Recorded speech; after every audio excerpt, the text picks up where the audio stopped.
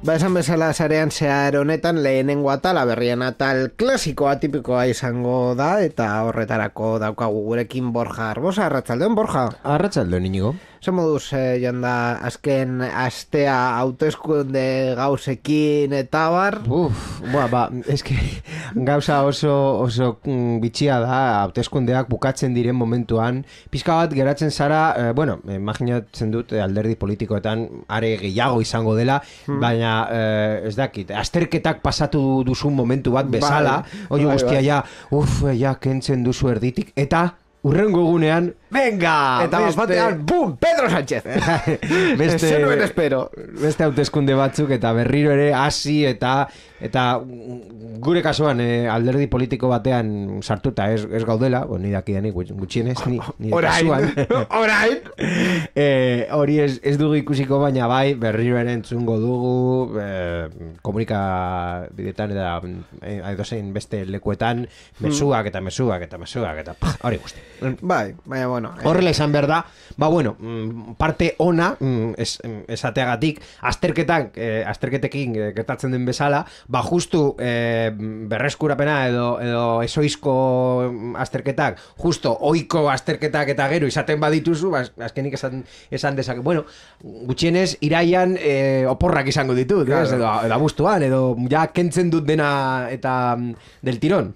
Bai, ba, Bueno. eh, horrela, horrela izango da gainera. Orain, ez bada duzue emaitz, eh, emaitzarekin posik eh, bukatu, ba, eh, ust, kasu honetan ustaian, eh, emaitza aldatzeko, aukera daukazue, beste, eh, beste organismo batean, baina, bueno, beste hauteskunde batzutan, baina, bueno, hor... hor Eta hemen bukatzen da sarean zearen politika tala. Bai, horrela izango da. E, beste, e, bueno, kontu hauetaz gain, e, e, azken egunetan egon diren kontuak bideojokoenak e, izan dira, gero komentatuko e, ditugunak, e, gurean, mm, ba bueno, berri gutxi izan ditugu, batez ere, e, adimen artifizialaren kontuak alde batera, ustea erabaki dugurako mila milioika berri daudelako horri buruz, baina interesgarri, interesgarri ez dira asko.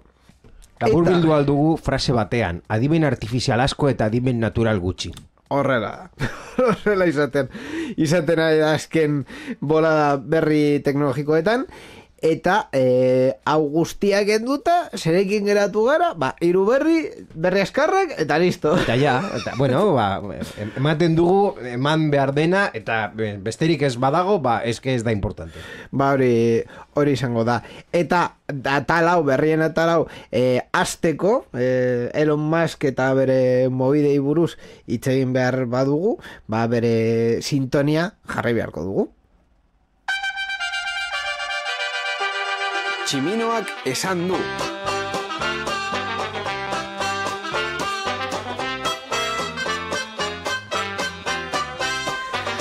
Tximinoaren gauzak hemen zarean zearen kasu honetan eh, badago bat eh, tximino, tximinada bat dela, hau da, eh, ba, gabezko eh, kontu bat eh, dela, bestea, bueno, eh, ez hainbeste, eh, batez ere, ba, mm, eh, lege eh, batek usten diolako hau egitea eta kasu honetan eh, organismo publiko batek ere.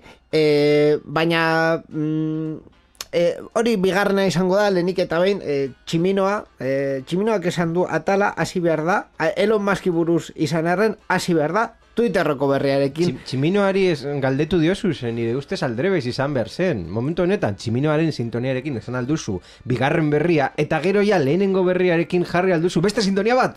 Hoi! Aia, ba! Aha! Nola bilatu du hemen e, bueltita, Borja Eh. Bueno, ba, kontatuko dugu orduan bigarren berria kasu honetan, Elon Musken Neuralink konpainia garuneko implantek gizaer, gizakietan duten eragina aztertzen hasiko dela, farmakoen eta erik- elikagaien administrazioak onartu ondoren. Garuneko jarduera antzebatea izango da implante honen e, eginkizuna larriki kaleratutako garuneko funtzio batzuk berreskuratzen lagunduko duten aginduak transmititu ahal izateko. Esan behar da, e, farmakoen eta elikagaien administrazioa FDA Amerikako estatu batuetakoa. Ez e, Dela, bai. Europa, ez Espainiakoa, baizik eta Amerikako estatu batuetan. Bai, e, en fin, e, hor e, edozin gauza posible dela, ba, bueno, Bueno. hau martxan jartzea, ona, edo onartzea e, aukeratu dute. Abenduaren hasieran enpresa prest zegoela mota horietako implanteak praktikan jartzeko adierazi zuen maskek, ordutik FDAk keskatuta agertu zen implanteek eragin e, zitzatekeen e, kalteengatik, baina azkenean proiektua onartzea erabaki du administrazioak. Lehen urroatz garrantzitsua da, egunen batean gure teknologiak pertsona askori laguntzea albidetuko duena, adierazi du Neurolinkek eh, onespen berri izan eh, ondoren. Bueno, ba, garun implanteak, hori izango da etorkizuna gure bizitzan. Izatea guztiok eh, implante bat gure burmuinean jarrita eta ja ordenagailurik gabe bizi ahal izan gara, zeren ja informazioa zuzenki bidaltzen da gure burmuinara. Imaginatzen duzu zuk hori horrelako zerbait ino. E, informazioa bidaltzea garunera edo garunetik kanpora edo nola... Ba, barrura, hau da, eh, informazioa biltzen du ordenagailu bat bezala eta zure burmuinera pasatzen du. E, ez dakit. E, hori da honen e, honen proposamena. Hau da, gaur egun e, arte erabiltzen ziren implanteak ziren e, norabide bakarrekoak, hau da, burmuinetik informazioa e, ateratzeko, burmuinaren seinaleak e, irakurtzeko eta e, mm, informazio hori ateratzeko. E, Neurolinkek martxan jarri nahi duen implanteak bi, bidezko, bi norabidezkoak e, dira. Mm, orduan, e, garunera informazioa ere sartzeko aukera e, izango izango dute e, implante hauek. Ez dakit ez dakit Or, eh, orduan ja, mm, tuerka buelta bat eh, gehiago emango diogu pelikula apokaliptikoetan, non eh, agertzen dira makinak egiten dira eh, eh, munduaren kontrolarekin, eta ez bakarrik makinak beren kabuz, baizik eta makinak gure, gure burmuinak kontrolatuz edo. Claro, eh, mm, printzipioz honen honen helburua eh, izango da em, kaltetatuka, kaltetatuko ka, ui, kaltetutako barkatu garunen funtsiak eh, berresar, berresartzea.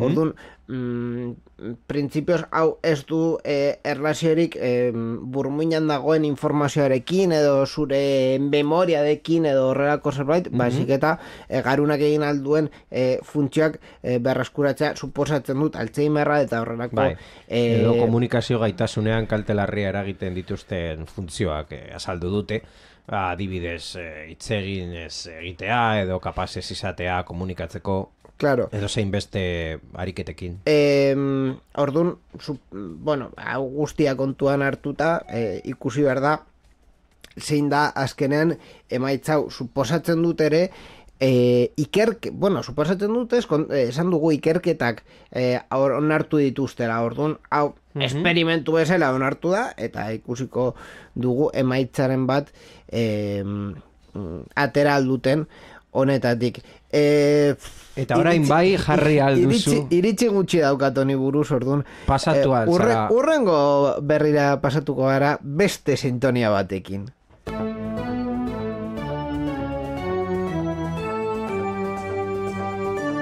Europar batasunaren berria. Sarean zehar. Bueno, benetan ez da Europar batasunaren berria, esan behar dut. E, Europar batasunak kasu honetan ez duelako zer egin. Bueno, Bueno, bai, e, haien, Komisario batek eh, haien iritzia argitaratu dute, Bai. baina eh, benetan... ofizialki, hau da, hau dauka garrantzitsu tasun Ga- garrantzi...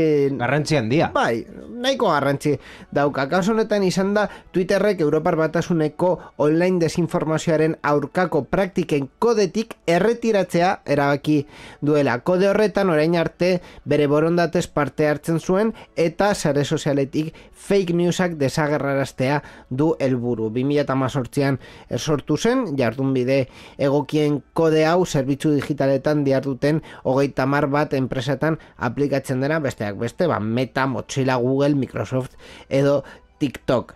E, zein da honen kontua, ba, azkenean Elon Musk Twitterreko egungo e, zeoak adierazpen askatasuna sustatzeko asmo sare soziala erosi zuen arren e, bere aurrekoek sare sozialean sinatutako kodearekin jarraitu nahi ez duela erakutsi du eta ere gehiago e, iazko azaroan itxi zuen Twitterrek Bruselan e, zuen bulegoa funtseskoa zena Europar Batasunaren arauak eta arau aldaketak onartzeko gorrotaren eta desinformazioaren diskurtsoari dagokionez. Azkenean berri honetan daukago alde batetik e, sakoneko kontu bat dela e, Elon Musk e, eta Twitter orokorrean ez duela jarraitu nahi e, ez direktiba edo araudiak e, desinformazioa eta gorroto mezuak e, ekideteko, bestetik, ba, bueno, baita ere dago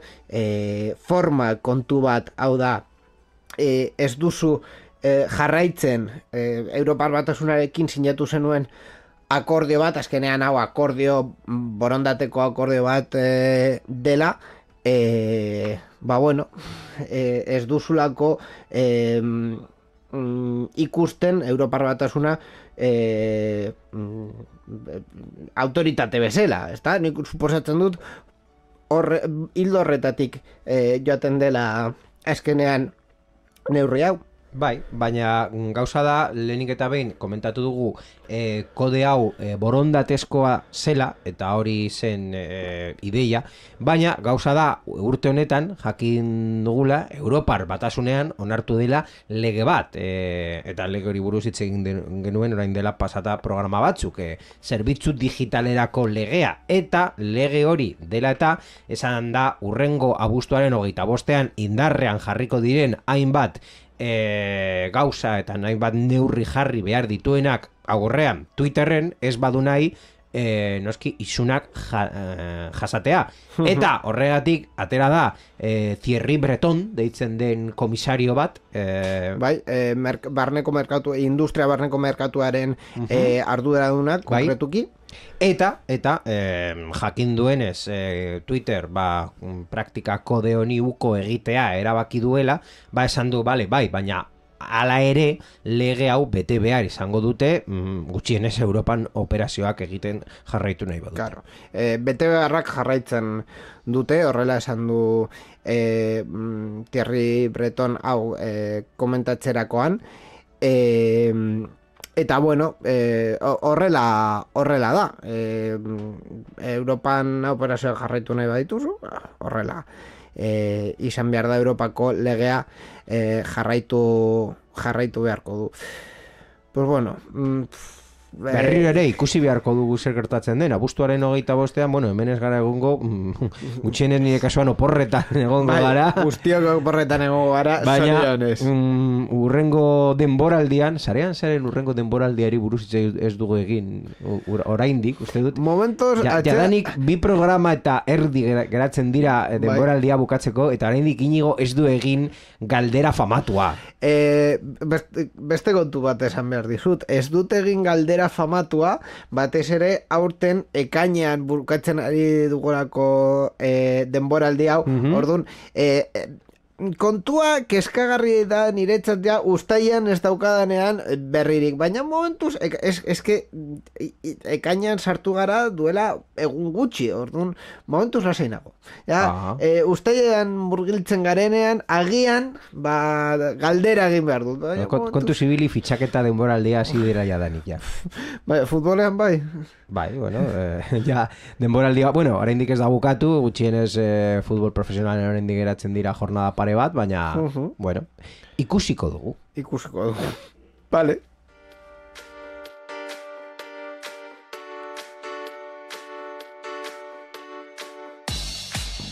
Oiko berrien azkena komentatzearen ja berri askarretan murgildu baino lehen, eta atalau pizkatu luzeago egiteko, eske, hiru berri genituen, eta ja bi kontatu ditugu. Eta hirugarrena e, baita ere, grazia pizkat e, daukana, e, horrela dio, Espainiako enpresa txikien euneko hogeita bederatzik diote faktuar, e, fakturazioaren erdia baino gehiago online salmentako formatuen bidez sortzen dutela. Ara, ara erakusten e, dute, gaudadi 2008 digitalizazio behatokia esterlanak e, bildutako datuek. Hildo horretan, garrantzi berezia ematen diete webgunei marken, marketing estrategiaren gune gisa. Gainera webgunea salmenta kanal nagusi gisa erabiltzen duten negozio Espainiarren kopurua batez besteko mm, globalaren gainetik dago euneko irurogeita bat dela hauek e, datu batzuk.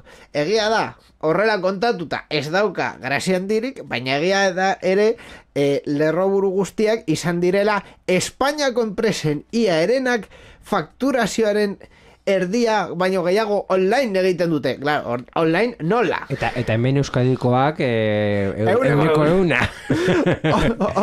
Hori dio aldundi. Tiket bai eta batuz dela eta ja ez dago, ez, dago eh, fakturazio claro, hor, hor dago honen eh, koska. Nora, nora gitaratzen du informazio. Nor dago udari. Ba, interneteko domeinoak eta web ostatu erregistratzen duen enpresa bat. Horrela da.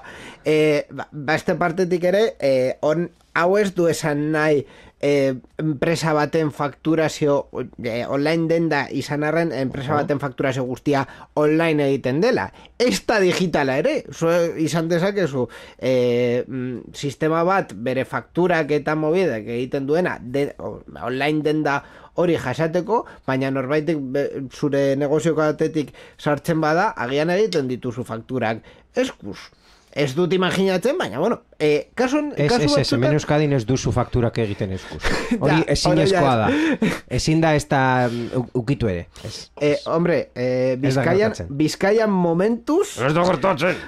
bizkaian momentuz, batuz, derrigorrozkoa izan arte, posible da. Orduan, eh, claro, eh, eiz, e, lerroburua eta berria eta bar oso ondo geratzen da, baino egia e, da ere mm, digitalizazioan, enpresen digitalizazioan asko geratzen dela, e, Euskadin dekretuz egiten ari da. Dindon Bizkaiko foru aldundiak adierazten du urrengo 2000 eta hogeita laugarren urtea hasi den momentutik aurrera derrigorrezkoa izango dela eh, tiket bai, batuz eta sistema guztia erabiltzea zuren fakturak egiterakoan. Bai. Eta gipuzkoan eta araban bizi bazarete ja derrigorrezkoa zen. Derrigorrezkoa. Pasa den urtetik. berandu zaude. Bai, ba, bueno, e, horrela da, eta horrek ere adierazten du, e, ba, bueno, e, gauza batzuk dekretuz egiten direla, baina e, ez direla isladatzen enpresen e, aldaketetan, eta bar, ba, bueno, Hemen ere iritsi gutxi nire partetik. Ba bueno, jungo gara ordun berri askarretara, hor beti daukazula gutxienez, iruzkin txiki bat emateko. Bai, horrela da. Berri askarrak, sarean zehar.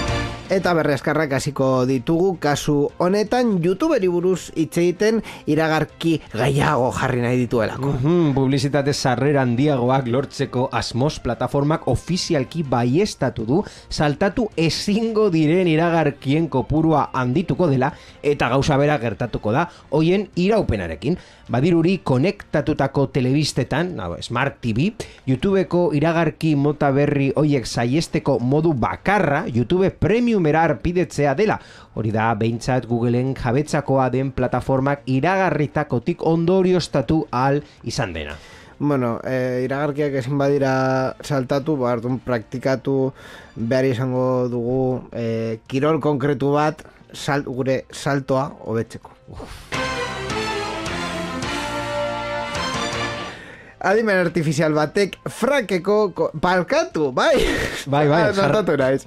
Venga, adimen artifizial batek frakeko kobratzaile berria izango da. Bai, eh, adimen artifizialak lan berri bat izango du normalean inori gustatzen ez zaiona. Zorrak kobratzea da kontua eta horrek automatikoki bihurtuko du ia fraken kobratzaile berria. Eta litekena da inoiz ikusi den eraginkorretako bat izatea. Sozietateak bizi duen finantzia krisiaren ondorioz badakigu zor errekorrak pilatzen ari direla pertsona mota guztien artean eta ondorioz zorroiek kobratzeko irtenbideak bilatu behar izan direla. Eta azkenean badirudi finantza enpresen ian konfinantza izateko aukera dutela. Eskit izeneko sistema, eh, artifizial inteligentzia dominen artifizial bat, ateak irekiko lizkieke zor dieten dirua berreskuratzeko. Bueno, badekizue, eh, adimen artifizial bati ordaindu behar badiozu, eh, txampon oberena izango dela bitcoina. Claro. Claro, hau eh, ondo geratzen zen gero titulol zijoalako. Baina ondo geratu da ere eh, txampon digitalei buruz hitz egiten Europako Banku Zentralak euro digitala nolakoa izango den pentsatzen jarraitzen duelako. Ni ere bai, esan behar dizuet. Bueno. Ez dakit zer den euro digitala, petxeres. Iazko irailean Europako Banku Zentralak ordainketa zerbitzuen eta bankuen hornitzaile batzuk aukeratu zituen ordainketa mugikorrei buruzko prototipo bat egiteko. E, Kaixa Bankek Espainian ekimen honetan parte hartu du eta pertsonen arteko ordainketerako irtenbide bat garatzeko agindu zaio. E, ordainkeko mm, peer-to-peer modukoa, hau da... Bai, pertsonetik eh, pertsonara. pertsonetik pertsonara. Hau da. Prototipoa ordainketa mugikorren wallet, bat da aplikazio mugikor honetan erabiltzaileak euro digitaletan eta azken mugimenduan ikus dezake bere saldoa. Europako Banku Zentralean aurkeztuako aplikazio horrek euro digitalak bidaltzeko eta beste pertsona batzuei ordaintzeko eskatzeko aukera ere ematen du CaixaBankek berak azaldu duenez. Hau guztia oso ondo dago, CaixaBanken aplikazioa oso ondo, bizun bat da, baina bueno, oso ondo, eta... Bueno, eh, bere, bere gauzak, bat, mm, e, ust- uste du finantza munduan ja de, daukala izen bat e, CBDC edo Banku Zentralak egiteko egin duen txampon digitala, Mhm. eta noski e, desberdintzen da txampon digital arruntetatik, hau da Bitcoin, Ethereum edo nahi duzuna, z- zergatik Banku Zentral bat kontrolatzen duelako sistema monetario hori eta ez daukalako Bitcoin dauden igoerak eta jaitzierak eta igoerak eta jaitzierak merkatua bai. dela eta. Bai, bai, merkatua eta nahi duzun guztia, baina eh, proiektu hauek alde batea utxita, ni or, momentuz, oraindik ez dakit zer den euro digitala, baina zer da euro digitala. Ez da, ez dut ulertzen zer den euro digitala. Norbaitek azaldu bezede zer den euro digitala.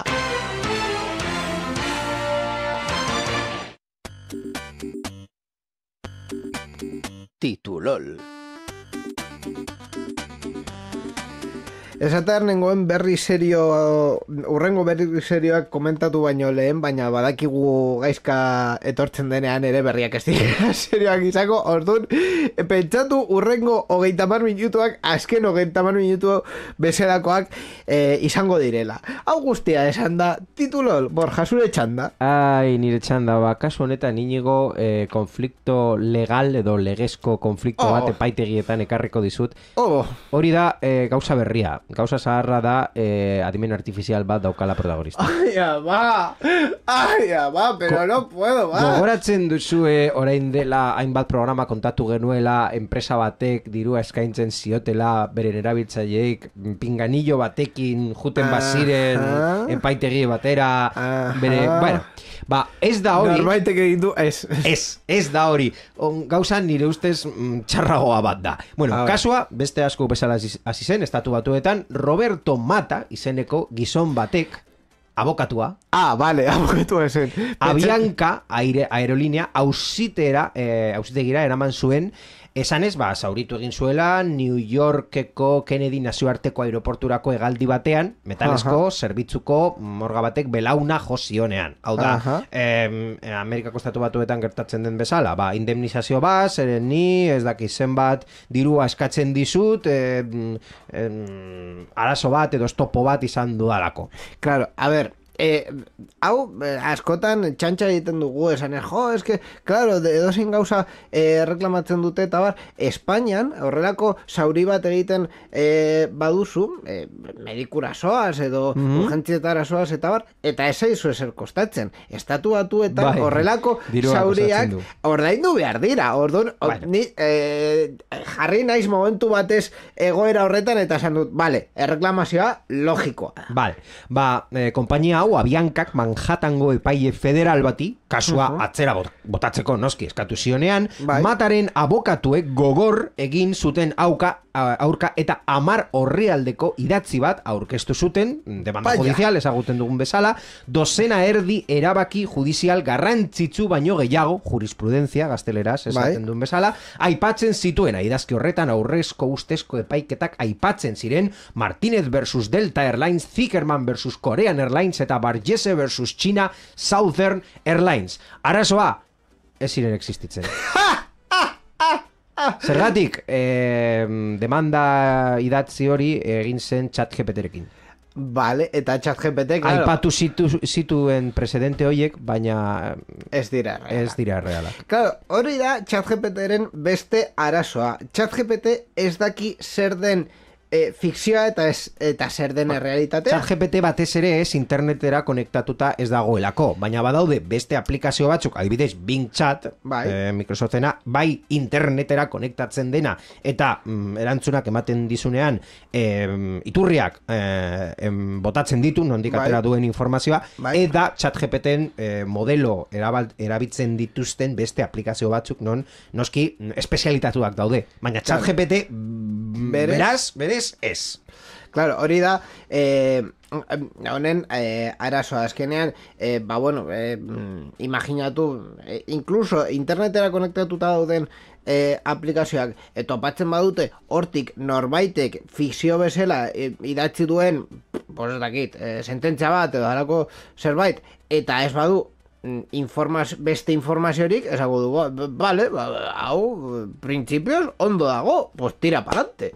Gauza bat baita ere esan behar dut, e, pizka bat bukatzeko barri egiterekin. Ni baita ere mm, epaitegi batean inventatu ditut referentzia judizialak.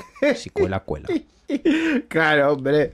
Eta guztiok eh, ja eh, hainbeste ha- ha- hainbat aste pasa diren chat GPT eh, agertu zenetik guztiok erabili dugu gauza baterako edo besterako. Eh, Ba, bai, ni- nire kasuan chat GPTrik babe, nire kabuz, esan Claro. nuen, hori ez dakize pagaitegietan ja esan zuten egia zela. Gezurra. Baina norbaitek Bueno. ez badu esan, ez, ez, ni hor Claro, dut. baina nork ez du erabili chat GPT, ba, adibidez berri baten laburpen bat egiteko, edo bideo baten gidoi bat eh, azteko. Etorkizuna da lagunok. Ja abandonatu dut eh, adimen artifizialaren onerako eta ja kentzen dut nire betiko esaldia dela gogoratzen duzu realitate virtuala etorkizuna. Baina ez da etorkizuna, orain Ez, adimen adimen artifiziala. etorkizuna, etorkizuna da. E, baina, geratzen zaizkigun bi minututan esango dizut ere. E, adimen artifiziala ez du ordezkatuko pertsonek egiten dituzten lanak, baina ez Guztiak. Ez. E, Batzuk bai. ziur, ziurrenik mm, oso gutxi. Adimen artifizialak azkenean e, ematen e, aheltzen du edo ematen ditu erramintak e, abia puntuak edo e, errekurtsoak ez dituzten pertsonentzat eta mm, nire kasua adibidez horrela izan da askotan. E, ChatGPTri zerbait eskatzen diot abia puntu bat izateko. Ez daukadarako nik nire burmuinean e, ideiarik ez nola hasteko horrelako gauza. Adibidez, ba, laburpen bat egiterakoan e, dosier bat egin nuen duela hilabete batzuk eta pentsatzen nuen nola hasi dosier hau, ze jarri behar dut. Ba, txajepeteri eskatu nuen begira. Ez dakize gasorako dosier bat idatzi behar dut. Emaidazu zeintzuk diren punturik Bai, baina hori garrantzitsuenak. guztia denbora da, eta hori guztia norbaiten lana zen. Hori Eh, gertatu arte. barkaidazu, baino ez, nire kasuan ez. Zure kasuan agian ez, baina ni beste hainbat ni kasuetan bai. Ni ez nuke inoro erdinduko hori egiteko. Ordun, claro, nire Baina beste mesua, pertsonek bai. nire mesua azkenean da, ez badaude, Zure lana ez delako, baina zu kasetaria bazaragian bai. claro, e- ez badaude, eh, osea, errekurtsoak badaude, dirua badago, Zertarako daude agentzia mm, mm, informazio agentziak. Claro, baina kontua da, e, ez badago dirurik hori egiteko eta e, diru, dirurik ez, ez izan da, ba, esaten duzu, ba, hau adimen artifizial bat emango diot, kojonudo, e, ez, ez, ez zen egingo gauza bat, egingo da, eh, adimen artifizial bati esker. Dirua badago hori egiteko, ez, ez eman adimen artifizial bati, eh, kontratotu Ed, profesional. ed, edo, edo amar profesional behar zuen gauza bat, orain bost profesional bakarrik behar du. Denbora aurresten beste, duzulako. beste partetik ere, esan behar Prozesu intermedio askotan. Beste partetik Hau da, ere, zero ez da izango, baina agian sortxitik bi, hori bai. Beste partetik ere, esan behar dizut, e, prozesuen optimizazioa e, bizitzan eta historian zehar gertatu dela Ah, bai, bai, eta bai. horrelako gauza Eten ezina da, hori egia da. Baina, En fin, eh, adimen artifizialei buruz esen programa bat horrela bukatzen dugu, Borja Arbosa eskerrik asko guretik, gurekin egoteagatik, eta aurrengor arte. Eskerrik asko inigo eta hurrengo programan adimena eser, gehiago, es, es, bueno, eh, eskerrik asko, aur.